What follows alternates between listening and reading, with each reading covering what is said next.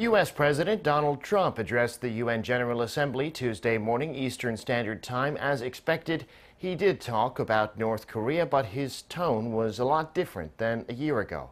Our Blue House correspondent Hwang Ho-jun, who's also in New York, has this story. His narrative has done a complete 180. It was just a year ago when the U.S. president threatened North Korea with, quote, fire and fury. The United States has great strength and patience. But if it is forced to defend itself or its allies, we will have no choice but to totally destroy North Korea. Rocket Man is on a suicide mission for himself and for his regime. But on Tuesday morning, local time, I would like to thank Chairman Kim for his courage and for the steps he has taken. President Trump was giving his second address to the UN General Assembly since his inauguration in 2017. He tooted his administration's efforts to negotiate with North Korea to achieve peace, saying that North Korea is no longer carrying out missile and nuclear tests.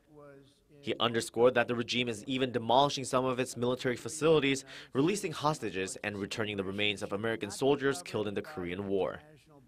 But regarding the sanctions on North Korea, President Trump said they will stay in place until denuclearization occurs on the Korean peninsula.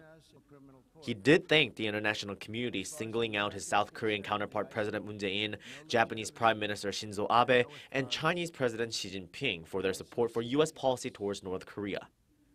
On the free trade agreement signed Monday local time by him and the South Korean leader, President Trump praised the deal, calling it just the beginning.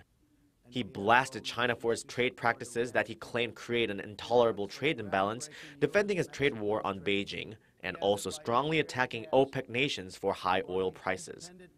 The General Assembly is the very embodiment of multilateralism, but President Trump again rejected what he calls globalism, stressing the importance of national sovereignty and independence. Now, President Moon Jae-in will take the stand at the UN headquarters on Wednesday local time. Addressing the body of nations, he will share his vision for improving inter-Korean relations to achieve denuclearization and establish lasting peace, as well as the results of his recent summit meeting with North Korean leader Kim Jong-un.